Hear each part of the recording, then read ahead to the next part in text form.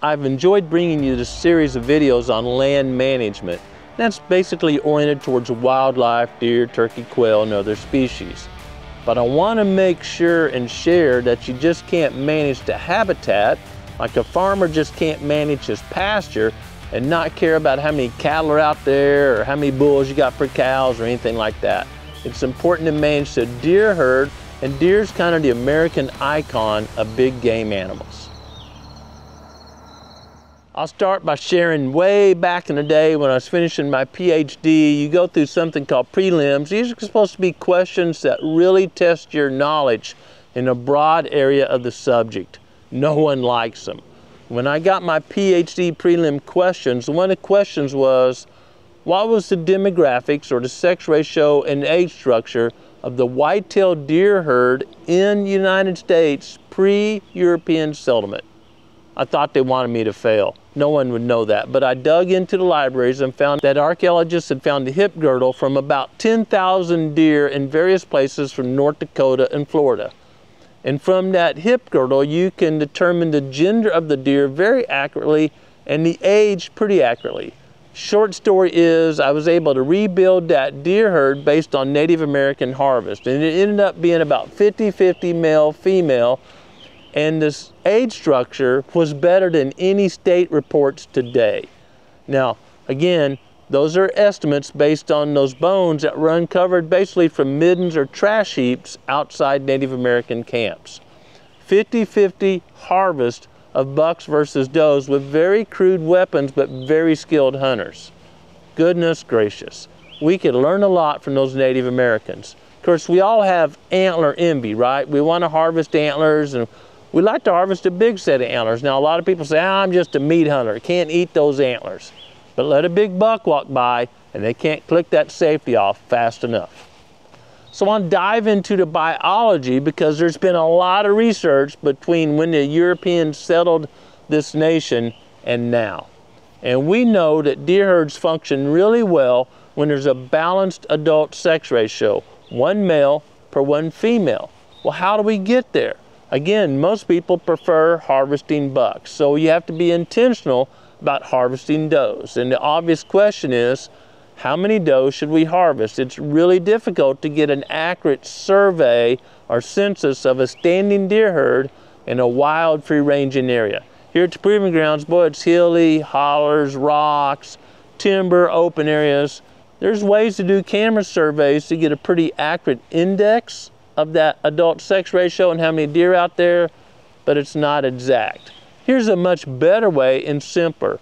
We simply put utilization cages in our food plot and look at how much forage is growing inside the cage where deer or rabbits can't get versus outside the cage. And if there's a big difference, you know, it's three foot tall inside the cage and just a few inches tall outside, there are more deer than there are groceries on that property. You could do the same with native vegetation, but it's easier to put it in a food plot. You could fence off a 10 by 10 or 20 by 20 foot square area in the native vegetation zone if you've got some sun hitting the ground and see what species are inside versus outside, but that takes more skill. So putting a utilization cage in a food plot is a great way to monitor the most important piece of data. Are there more deer than groceries or are there more groceries than deer? Oftentimes throughout much of the whitetails range, there are more deer than groceries. And you can do a couple of things. You can improve the amount of groceries by establishing more food plots or maybe doing prescribed fire or TSI, timber stand improvement, as we've shared in a previous video in this series, and start harvesting more does. And we focus on does because one buck can breed a lot of does. So harvesting a few more bucks is not gonna reduce the fawn crop the following year. And deer populations are all about that fawn crop.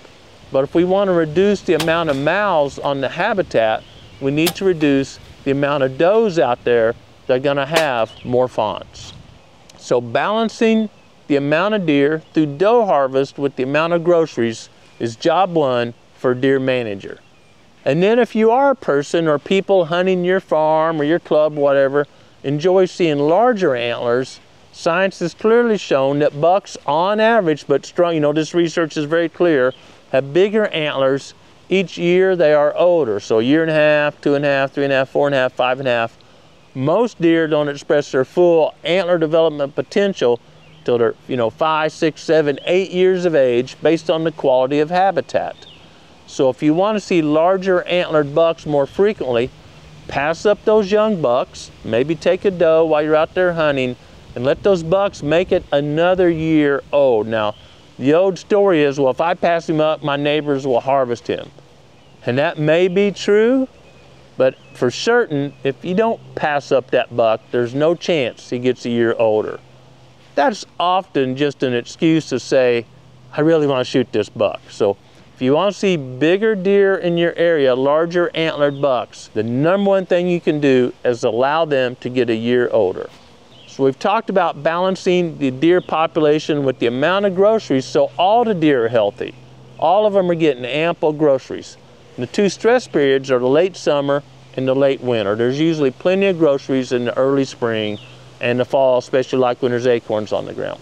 We've talked about letting bucks get older. You want to track your progress a little bit, and one of the easiest ways to do this is collect the weights of adult does, two and a half years old or older. You can look at and see, boy, that doe's a big old doe. Some of them call them nanny does or, you know, Coca-Cola bottle nose does. They're fully developed doe. Doesn't really matter if it's two and a half or six and a half. Write down all those weights and be consistent. We track the whole weights. We track whole weights because there's probably less variance in people eviscerating deer. Some people leave the organs in, take the organs out, whatever. A whole weight can vary also. Did you harvest it first thing in the morning and it's been feeding all night or maybe right when it's early afternoon, hadn't fed in several hours? There's always gonna be variation. But you get a good harvest, you know, 10, 20 does off of a property, hopefully even more, depending on the property. You take that average of the adult doe body weight and compare it year after year. Not just two years, because it could have been a big acorn crop or maybe the farmer cut the crops early, whatever's going on. But when you follow that year after year, you're going to see a trend. Is that weight staying about the same? You're not really making an improvement in the health of the deer herd. Is that weight trending up and maybe a few bobbles in there, but going up in general? Then something's improving. The quality of the habitat, there's more food per deer, there are less deer per groceries, whatever it is, is getting better. Is that trend going down? You're probably not harvesting enough does. There can be a lot of factors. Maybe a, a big storm or tornado or hurricane or a windstorm somehow come through and knocked a lot of trees over. And now there's more sun hitting the ground and those body weights go up for a year or two until hardwood brush or whatever happens starts taking all the sun up and it's not getting to those forest floor and growing those very critical native forbs, ragweed, partridge pea, stuff like that, allowing deer to have better diet. Well, you could see that weight go up because of that storm for a few years and then go down as it shades out. Or a pine harvest come through the area and there's more good groceries at deer level and then those new pine trees shaded out. So pay attention to the habitat and body weights and allows you those simple data to be a much better deer herd manager. These are really simple but time-tested tips of how to manage a deer herd. Let bucks get older if you want to see larger antlered bucks.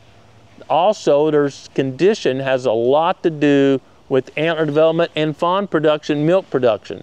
So the amount of groceries per deer. It's not just bucks we're managing for. We need healthy does and healthy fawns to produce very healthy bucks when we're going through all this, a lot of people think, oh, it's genetics. You notice I have not mentioned genetics till now. And they want a call. They see that spike or that, you know, 7.3 year old or whatever. Oh, let's get those genes out of gene pool. Once again, there's a lot of research. There have been major, major research projects to see if culling works in wild free-ranging herds separate researchers, different ranches, whatever, and all of them tell us the same thing. We cannot impact antler shape based on culling wild free-ranging deer. The captive deer industry does if you want to go that route, but they know who bred who. those critters have a pedigree, just like maybe your hunting dog or your beef cow have a pedigree that, you know, this bull and this cow paired together produce very large calves, or this buck and this doe, or this line of does produces more milk, and therefore to have bigger fawns, which starts them off better and have better antlers later on. You do not know that in the wild. We can't look at that doe and say, boy, her right ear is kind of cocked over she produces big fawns year after year. We have no idea. And in science terms, that's talking about those spikes or seven point more mature deer. We're looking at the phenotype. We're not looking at the genotype. Phenotype being what we see. Oh, that buck doesn't have very good antlers. That doesn't tell if it was injured early on or, you know, had a really tough winter last year. To make culling, we have to know the genotype the result of parenting several generations and the offspring and how those offspring performed. And we never know that in a wild free ranging herd. Bottom line is there's no chance. That's a strong word, but several scientists have said and published this in refereed studies now where people peer review their work. There's no chance culling a wild free ranging herd is going to result in larger antler size. So Shoot the buck that makes you happy and fits the landowner's objectives. We're all privileged to hunt somewhere. If you're hunting public land, it's probably wide open depending on where you're hunting. If you're hunting private land, be courteous and ask that landowner what their goals and objectives are. If they say, boy, you know, me and my family, we like seeing big antlered bucks, you're gonna pass up young bucks because they can't express their potential yet. You're not making a, you know, an excuse, well, that buck only had one antler because he broke it off fighting a little earlier on, or it's a spike, whatever.